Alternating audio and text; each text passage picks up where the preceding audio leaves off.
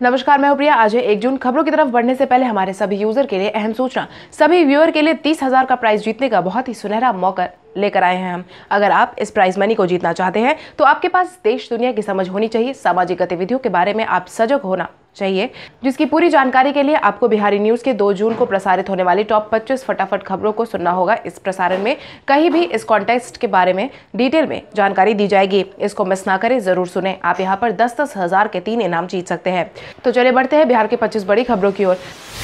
बिहार में कोविड 19 प्रभावितों की संख्या में हुई ज़बरदस्त बढ़ोतरी। बिहार में कोविड 19 प्रभावितों का आंकड़ा लगातार बढ़ता ही जा रहा है। बिहार स्वास्थ्य विभाग के द्वारा बीते दिन जारी किए गए दूसरे अपडेट तक 241 नए मरीजों की पुष्टि की गई है, जिसके बाद बिहार में प्रभावितों की कुल संख्या तीन हज़ार आठ सौ सात हो गई है। पाए गए मामलों में प्रभावित जिलों की बात करें तो भागलपुर में चौतीस, सहरसा में पाँच, कैमूर में तीन औरंगाबाद में सात, पूर्णिया में तेरह, पटना में ग्यारह, मुंगेर में दो, भोजपुर में दो, अररिया में एक, गया में छह, सारण में नौ, खगड़िया में तीन, दरभंगा में एक, किशनगंज में इक्कीस, बेगूसराय में सैंतालीस, कटिहार में दो, जमुई में पाँच, शेखपुरा में आठ, मुजफ्फरपुर में ग्यारह सीतामढ़ी में तीन, सुपौल में तेरह, जहानाबाद में तेरह, अरवल में तीन, मधेपुरा में सत्रह, बक्सर में एक, नवादा में एक मामला सामने आया है।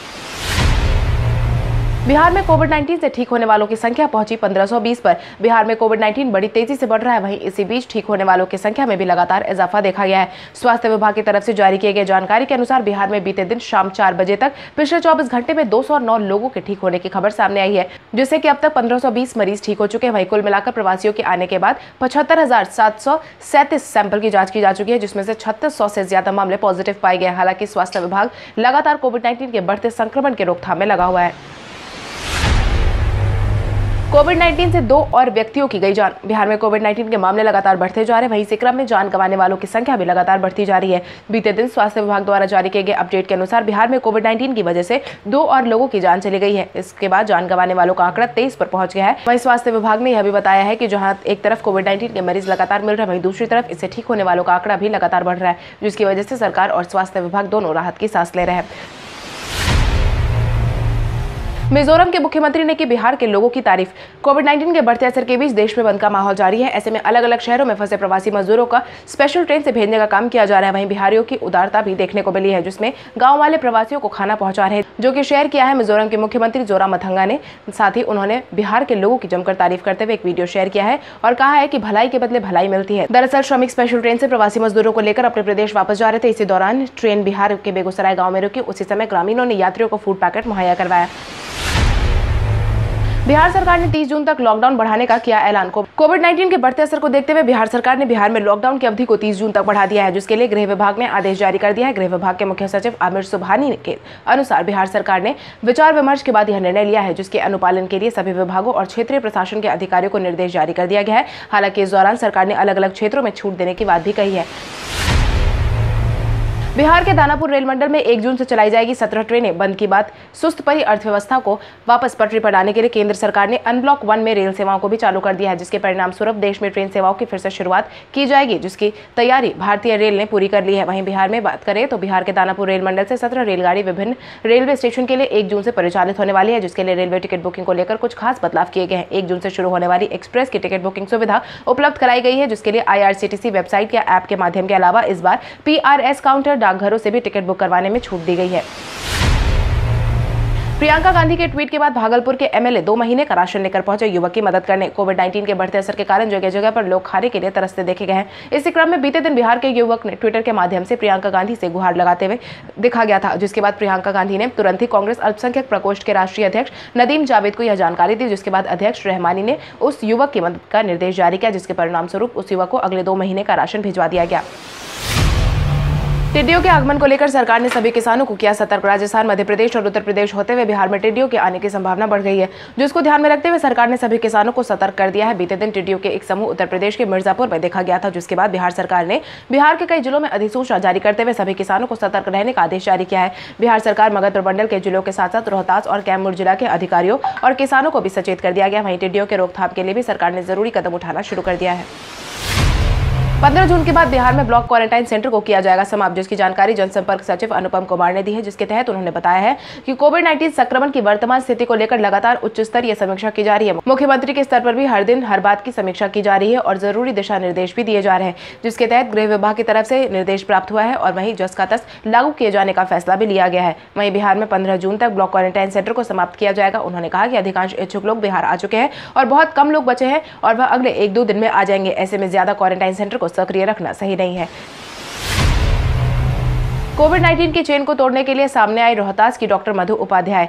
बिहार में कोविड 19 का संक्रमण लगातार बढ़ता जा रहा है, वहीं इसके रोकथाम के लिए, साथ ही इसके चेन को तोड़ने के लिए अब महिलाओं ने पूरा दारोमदार अपने हाथ में संभाला है, जिसके तहत साढ़े चार हज़ार से अधिक महिलाएँ एक साथ जुड़ गई है। यह महिलाएँ मोबाइल फ़ोन के माध्यम से एक दूसरे से जुड़ी है, ताकि कोविड नाइन्टीन के रोकथाम के लिए कौन कौन से कदम उठाए जाने, इस बात पर चर्चा की जाए। इसकी जानकारी एक दूसरे से शेयर करती है, जिसका नेतृत्व डॉक्टर मधु उपाध्याय संजौली के उप प्रमुख हेलो बहन चेन के नाम से कर रही हैं। जिसके तहत उन्होंने बताया है कि ग्रामीण क्षेत्र की महिलाएँ में अभी भी कोविड 19 के संबंध में जागरूकता की कमी है। इसी को देखते हुए लोगों ने यह नई चीज़ का आविष्कार किया है।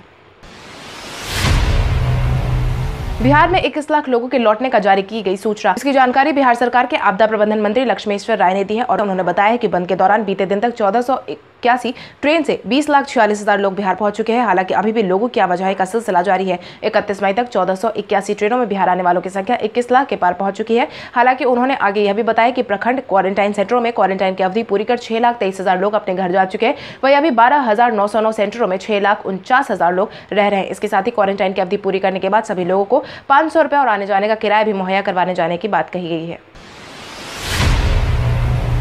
सदानंद सिंह ने कांग्रेस की तरफ़ से मुख्यमंत्री उम्मीदवार बताने वाले को करार किया सरफिरा कांग्रेस की तरफ़ से खुद को मुख्यमंत्री का चेहरा बताने वाले संजीव कुमार सिंह को लेकर कांग्रेस के खेमे से अलग अलग प्रतिक्रियाएँ आने लगी है, जिसके तहत पार्टी के वरिष्ठ नेता सदानंद सिंह, कांग्रेस पार्टी के तथाकथित राष्ट्रीय नेता संजीव कुमार सिंह को पहचानने से इनकार कर दिया है। उन्होंने साफ़ किया कि यह आदमी सरफिरा मालूम पड़ता है। एक मीडिया हाउस से बातचीत के दौरान उन्होंने कहा कि जो शख्स खुद को बिहार के मुख्यमंत्री का दावेदार बता रहा है, उसे कांग्रेस पार्टी तक नहीं जानती है।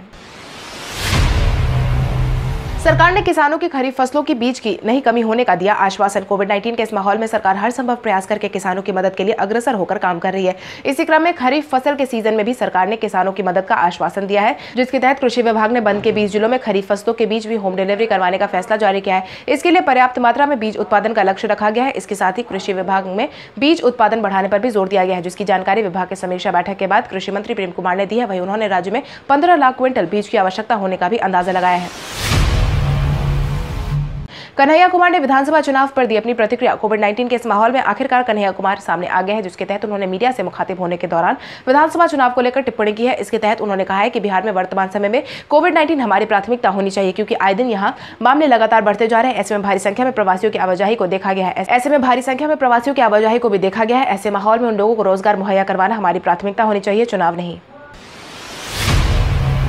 शिवानंद तिवारी ने राशन कार्ड और जॉब कार्ड के नाम पर सरकार से मांगा जवाब। शिवानंद तिवारी ने राशन कार्ड और जॉब कार्ड को लेकर मुख्यमंत्री नीतीश कुमार से एक बार फिर से जवाब की मांग की है, जिसके तहत उन्होंने कहा है कि बिहार में ना राशन कार्ड बन रहा है और न ही जॉब कार्ड।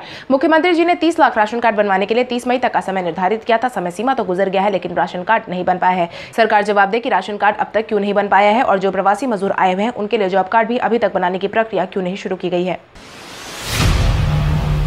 बिहार में स्वरोजगार को बढ़ावा देने के लिए प्रवासी महिलाएँ आएँगी सामने। कोविड नाइन्टीन के प्रभाव के कारण देश में फ़िलहाल सब कुछ बंद है। ऐसे में बिहार से बाहर गए मजदूरों की भी अब वापसी होने लगी है, जिसको ध्यान में रखते हुए रोज़गार सबसे बड़ी प्राथमिकता अभी सरकार के सामने उभर कर आई है। इसी क्रम में प्रवासियों को रोज़गार मुहैया करवाने के लिए सरकार पूरी प्रतिबद्धता के साथ काम करे वही प्रवासियों में महिलाएँ भी भारी मात्रा में है, जिसके बाद अब सरकार ने इन महिलाओं को भी रोज़गार देने का जिम्मा उठाया है। खबरों की माने तो सरकार अपनी योजना के तहत कुशल प्रवासी महिलाओं को कढ़ाई, बुनाई, पेंटिंग जैसे कुटीर उद्योगों से जोड़ने वाली है, जिसका प्रशिक्षण इन महिलाओं को जून के पहले सप्ताह में दिया जाना शुरू कर दिया जाएगा। कोविड 19 के बहाने बिजली बिल जमा नहीं करने वालों पर सरकार की नज़र कोविड 19 के बहाने जो भी बिजली उपयोग करता बिजली बिल जमा करना ज़रूरी नहीं समझ रहे उनकी बिजली अब कभी भी काटी जा सकती है। बिजली कंपनी ने इसकी तैयारी शुरू कर ली है। जून से कंपनी इस पर एक बार फिर से अमल करने को तैयारी कर रही है, क्योंकि कोविड नाइन्टीन के कारण कंपनी की सारी गतिविधियाँ पूरी तरीके से बंद थी। बिलिंग काउंटर बंद होने के कारण लोगों के समक्ष केवल ऑनलाइन बिल जमा कराने का ही विकल्प था, लेकिन अप्रैल और मई महीने में कंपनी के राजस्व में भारी गिरावट देखने को मिली है। खबरों की माने कंपनी को आठ सौ करोड़ की आमदनी हो जाती थी और इन दो महीनों में साठ फ़ीसदी तक की वसूली ही की गई है। आज से बिहार में शुरू हो जाएँगी बस, ऑटो, रिक्शा, टैक्सी की सेवाएँ। आज से बिहार में बस सेवा शुरू हो जाएगी, जिसका फैसला बिहार सरकार ने अपनी तरफ़ से सुना दिया है। इसके तहत एक जून से राज्य के अंदर बस और सभी पब्लिक ट्रांसपोर्टेशन का परिचालन शुरू करने का बड़ा निर्णय लिया गया है। खबरों की माने तो इकतीस मई को क्राइसिस मैनेजमेंट ग्रुप की बैठक में यह निर्णय लिया गया है। इसकी जानकारी परिवहन सचिव संजय कुमार अग्रवाल ने सार्वजनिक तौर पर दी है। संजय कुमार ने इस बाबत सभी डीएम, एसएसपी और एसपी को भी निर्देश जारी कर दिया है।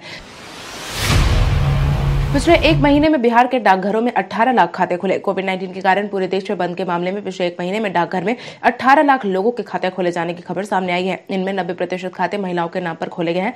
वहीं एक महीने में डाकघर से राज्य सरकार की अलग अलग योजनाओं के साथ ही केंद्र सरकार की कुछ योजनाओं को मिलाकर तीन करोड़ रुपए की सरकारी सहायता राशि का भुगतान लाभुकों के खाते में भी दिया गया है। खबरों की माने तो डाकघर में खाता खुलवाने का सिलसिला अभी भी जारी है। अभी भी हर दिन लगभग पचास खाते खुलवाए जा रहे हैं। सभी लोगों के इंडियन पोस्ट पेमेंट बैंक के तहत खाते खुलवाए जा रहे हैं। बिहार में स्किल मैपिंग की सराहना पर सुशील कुमार मोदी ने प्रधानमंत्री नरेंद्र मोदी को दिया धन्यवाद। उप मुख्यमंत्री सुशील कुमार मोदी ने प्रधानमंत्री नरेंद्र मोदी द्वारा मन की बात कार्यक्रम से देश के संबोधन के दौरान बिहार के प्रवासी मजदूरों की स्किल मैपिंग की तारीफ़ करने की सराहना की है, जिसके तहत उन्होंने कहा कि प्रधानमंत्री जी का यह आकलन तर्क संगत है कि आज़ादी के बाद से बिहार यूपी जैसे पूर्वी राज्यों के विकास की अनदेखी मजदूरों के पलायन और विस्थापना की बड़ी वजह बनी है। कांग्रेस और राजद ने अपने लंबे शासन में राजनीतिकरण किया है, जिसकी वजह से लोगों को यहाँ से पलायन करना पड़ा मगर हमारी सरकार से मजदूरों को यहीं पर रोकने की हर संभव कोशिश कर रही है। प्रधानमंत्री नरेंद्र मोदी के मन की बात कार्यक्रम पर शत्रुघ्न सिन्हा ने दी अपनी प्रतिक्रिया। कांग्रेस नेता शत्रुघ्न सिन्हा ने प्रधानमंत्री नरेंद्र मोदी द्वारा बीते दिन मन की बात कार्यक्रम के बाद कहा कि भारत पहले से ही आत्मनिर्भर था पर 2020 में देश को आत्मनिर्भर बनाने के लिए भाषण बनाया गया। उन्नीस सौ चौवन में स्टील उत्पादन के क्षेत्र में भारत को आत्मनिर्भर बनाने के लिए सेल बनाया गया। उन्नीस सौ छप्पन में इंजीनियरिंग के क्षेत्र में आत्मनिर्भर बनाने के लिए आईआईटी बनाया गया। मेडिकल साइंस के क्षेत्र में आत्मनिर्भर बनाने के लिए उन्नीस में एम्स बनाया गया। साथ ही उन्नीस में रक्षा प्रौद्योगिकी के क्षेत्र में आत्मनिर्भर बनाने के लिए डीआरडीओ बनाया गया। उन्नीस में एयरक्राफ्ट उत्पादन के क्षेत्र में आत्मनिर्भर बनाने के लिए योजना बनाई गई। उन्नीस में खाद्य सामग्री के क्षेत्र में आत्मनिर्भर बनाने के लिए हरित क्रांति बनाया गया। भारत पहले से ही आत्मनिर्भर है। 2020 में देश को आत्मनिर्भर बनाने के लिए एक भाषण ही बस बनाया गया है। पूर्णिया एयरपोर्ट से हवाई सेवा की शुरुआत करने की सोशल मीडिया पर उठी मांग। बिहार के पूर्णिया ज़िले से उड़ान भरने की तैयारी अब शुरू की जा सकती है, क्योंकि पूर्णिया ज़िले के कई लोगों ने सोशल मीडिया के माध्यम से पूर्णिया जिला एयरपोर्ट को शुरू करने की मांग की है, जिससे कि ज़िले में एयरपोर्ट की ज़रूरत को समझते हुए हज़ारों लोग ने उड़ान की मांग करते हुए बीते दिन ट्वीट किया था, जिसके बाद पूर्णिया हवाई अड्डे पर संयुक्त परिचालन के तहत सिविल एनक्लेव हेमंत संपर्क परियोजना के लिए ज़मीन एयरपोर्ट अथॉरिटी को जल्द उपलब्ध कराए जाने की भी खबर सामने आई है। खबरों की माने तो भू अर्जन परियोजना के तहत बावन एकड़ ज़मीन का अधिग्रहण होना है। इसके लिए भूमि अधिग्रहण की प्रक्रिया शुरू कर दी गई है। वहीं भूमि एवं राजस्व विभाग की मंजूरी भी ले ली गई है। नेता प्रतिपक्ष तेजस्वी यादव ने मुख्यमंत्री नीतीश कुमार को लिया आड़े हाथ। बिहार में कोविड नाइन्टीन के बढ़ते माहौल के बीच राजनीति भी ज़ोर शोर से देखने को मिल रही है। इसी क्रम में बीजेपी नेता प्रतिपक्ष तेजस्वी यादव ने गोपालगंज में हुए मामले के बाद सत्ताधारी पार्टी जदयू को आड़े हाथों लिया है, जिसके तहत उन्होंने कहा है कि इस मानवीय समस्या के समय में बिहार में शासन और कोरोना में एक अजीब समानता है। वे दोनों अदृश्य है, लोगों के लिए हानिकारक है और लोगों के जीवन के साथ खेल रहे हैं। उन्होंने मुख्यमंत्री नीतीश कुमार पर टिप्पणी करते हुए कहा कि बिहार सरकार और कोविड नाइन्टीन दोनों एक समान है। ग्यारह अंक में तब्दील नहीं होगा, अब किसी का मोबाइल नंबर भी। बीते दिन ट्राई ने अपनी तरफ़ से जानकारी साझा करते हुए कहा था कि अब सभी मोबाइल नंबरों को 10 के बदले 11 अंक में किया जाएगा, जिसकी तरफ़ से अब सफ़ाई देते हुए भारतीय दूरसंचार नियामक प्राधिकरण ने मोबाइल फ़ोन के लिए ग्यारह अंकों की नंबरिंग योजना की सिफारिश को अस्वीकार कर दिया है। इससे पहले कई मीडिया रिपोर्ट सामने आई थी, जिसमें यह कहा गया था कि ट्राई ने दस अंकों की योजना को ग्यारह अंकों तक प्रसारित करने का सुझाव दिया था, जिसके तहत ट्राई ने कहा कि अभी फ़िलहाल देश में यूज़र्स को दस अंकों वाले मोबाइल नंबर ही मिलेंगे। ग्यारह नंबर वाले मोबाइल नंबर को देने का प्लान स्थगित कर दिया गया है।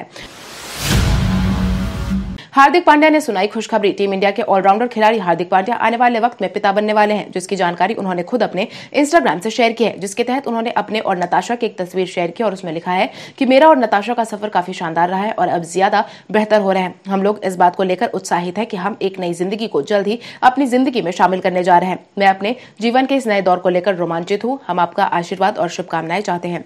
कल हमारे द्वारा पूछे गए सवाल का जवाब आप में से बहुत सारे यूज़र ने हमें कमेंट करके दिया था। उसके लिए आपका बहुत बहुत धन्यवाद। आप में से जिन यूज़र का कमेंट हमें अच्छा लगा है। उनके नाम है रवि किशन आलोकनाथ, प्रभाकर सिंह, शुभम कुमार, सनी कुमार, रोशन कुमार, मुस्कान सिंह, सुमोना सिंह, प्रभाकर राज, रवि कुमार, पिंकी कुमारी, ईशान कुमार, राज सिंह। इसके अलावा हमारी टीम को और भी लोगों के जवाब अच्छे लगे, मगर समय के अभाव के कारण हम उनका नाम नहीं ले पाए। लेकिन आप हमारे सवालों का जवाब देते रहे, हम कल आपका नाम लेने की पूरी कोशिश करेंगे। तो चलिए बढ़ते आज के सवाल की और आज का सवाल कुछ इस प्रकार है। लॉकडाउन के पाँचवें चरण में सरकार की तरफ़ से जारी किए गए गाइडलाइन के तहत मिली छूट से आप कितने संतुष्ट हैं? अपने जवाब हमें कमेंट करके ज़रूर बताएँ। इसके साथ ही आज के लिए बस इतना ही। अगर आप वीडियो हमारे यूट्यूब पर देख रहे हैं तो हमारे चैनल को सब्सक्राइब करें और बेलाइकन दबाना ना भूलें। और अगर आप ये वीडियो हमारा फेसबुक पर देख रहे हो तो इस वीडियो को लाइक करें और ज़्यादा से ज़्यादा शेयर करें। धन्यवाद।